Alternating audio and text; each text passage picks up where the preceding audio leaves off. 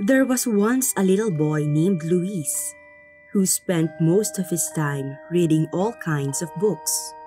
He was a curious little boy and wanted to know many things.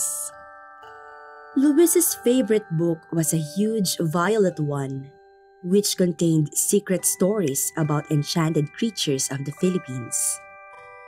One day, Luis read the book under a huge balete tree.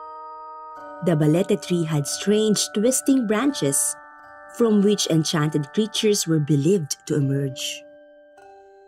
Now, the book was very interesting indeed. As he read, Luis met each enchanted creature in his mind.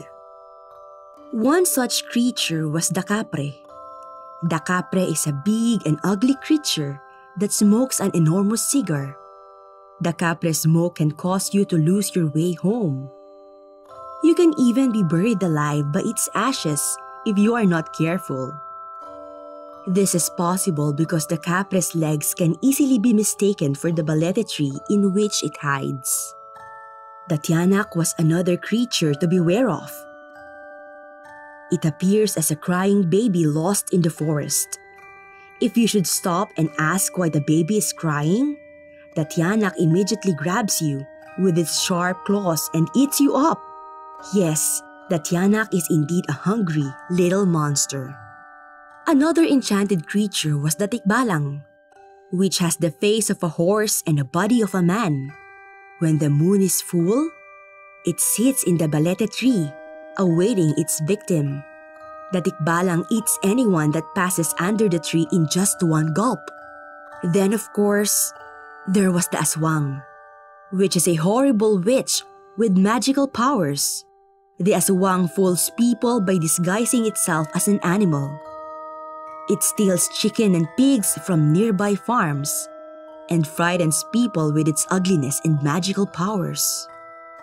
The Nuno sa Punso was an old creature that lives under a mound of soil. In passing any mound of soil, you have to excuse yourself and greet the unseen Nuno to show respect, or else it will cast an evil spell on you to show its anger.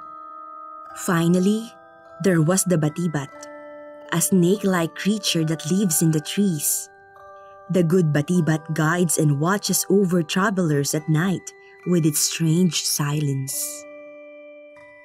Night had quietly fallen as Luis finished reading. The moon was full and strange shadows fell across the forest. Hungry for dinner, Luis began to walk home. Suddenly, the book flew from his hand and lay open on the ground. It must be the wind, whispered the frightened little boy, though there was not even the slightest breeze in the air. Luis bravely peered into the book, and from its pages emerged the six enchanted creatures.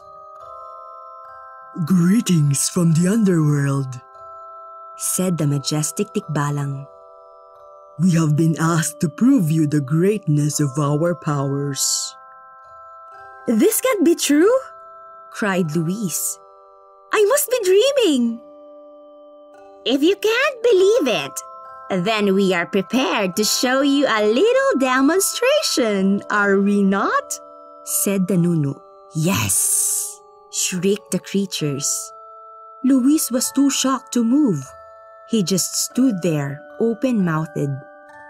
Relax, the Kapre consoled him. Here, Share a cigar with me. You wouldn't have a match on you by any chance, would you? Luckily, Luis did and handed it to the kapre. But as it puffed, it began to cough. My mama's been telling me to quit smoking. I really should. the kapre's cough woke the sleeping Tiyanak and it began to cry. And oh, baby, did it truly cry? Ah! wailed the baby Tiyanak with feeling. Stop it! shouted the angry Tikbalang. We are here to prove our powers, not to look like fools. What will Luis think of us now? Stop it! I say, stop it! Answered the Tiyanak, which meant I can't! By this time, the Batibat wanted to leave the tree to comfort the Tiyanak. But it found itself stuck in the tree because it had eaten too much for dinner.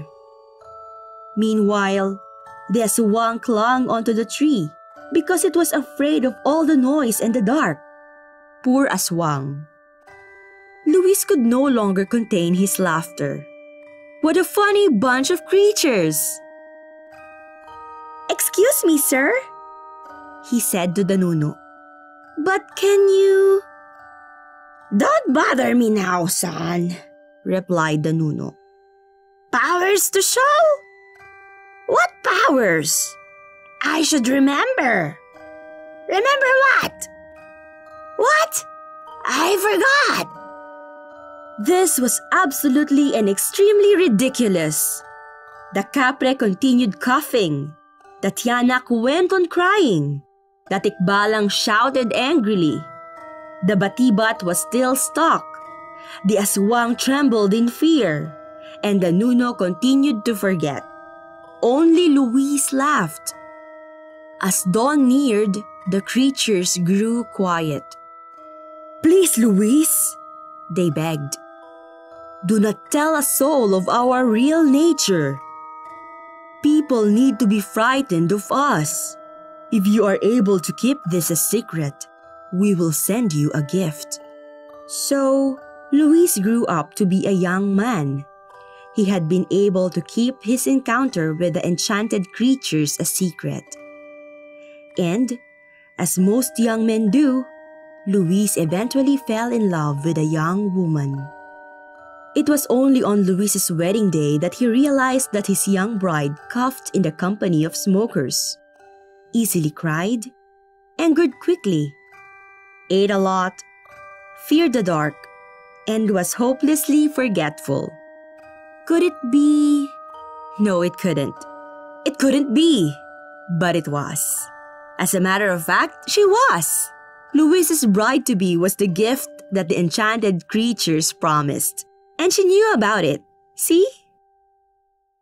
Luis and the Enchanted Creatures.